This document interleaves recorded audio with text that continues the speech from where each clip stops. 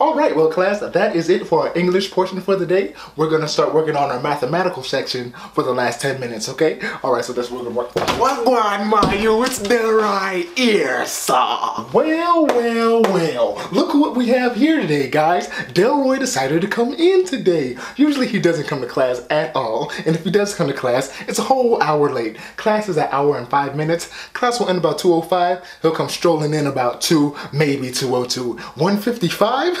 right here, this here is classic. I try to tell you. I'm trying to tell you. Shut up. Whoa, Delroy, sorry about that. I was just trying to explain to the class that you come extremely late on the daily. Lord jeez, Professor AC. Me must be late. Yes, pretty much. Never that, me must be early.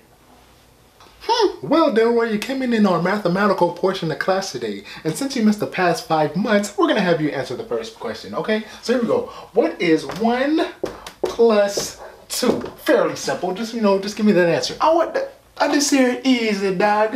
And I treat that. Uh, Delroy, I don't think you're reading it right. It's one plus two. I want me I say, and I treat that. A tree is not a number. I want me I say. It's a tree, right? Uh, Delroy, a tree has nothing to do with anything numerically. I, it's not the answer. That's not.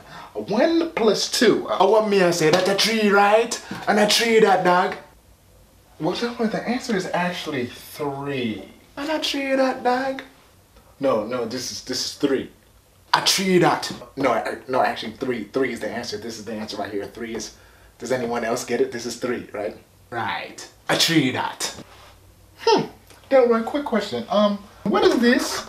Tree.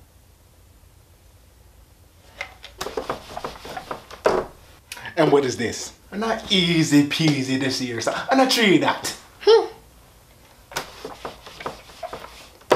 Delroy, can you say this? Off. Delroy, can you say this? Upon. How about this? Only. And this? Um. And Delroy, can you say this? As. How about now? As. Lord, jeez, me so hungry, dog. Me want a beef patty right here, sir. Delroy, can you say this word? Dog. And I would that. And now say this word. Hollywood. Delroy, can you say this letter for me? Well, well, guys, after I did that short research study with uh, Delroy here, I have come to the conclusion that you guys don't pronounce the letter H at all. You don't even acknowledge that it's in the alphabet. So, uh, looks like we're gonna have to go over our English portion of class again tomorrow. Uh, for sure.